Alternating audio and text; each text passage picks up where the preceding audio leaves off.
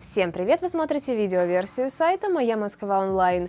ВДНХ запускает проект о достижениях в стране. В апреле на ВДНХ стартует масштабный проект «Регионы. Открытия», рассказывающий о достижениях в стране. Об этом сообщается на официальном сайте мэра и правительства столицы.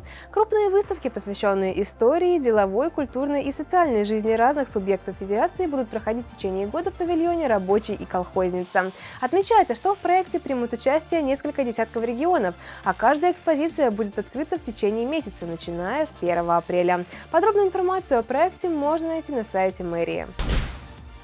На этом у меня пока все, а больше на сайте mymsk.online. До скорого!